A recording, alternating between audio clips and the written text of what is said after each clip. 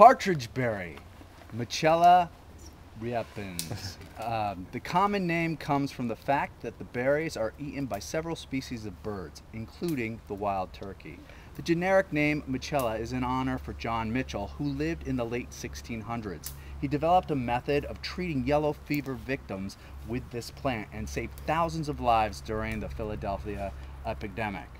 Also called squaw vine, Cherokee Indian women made tea from this plant and drank it for weeks before having a baby.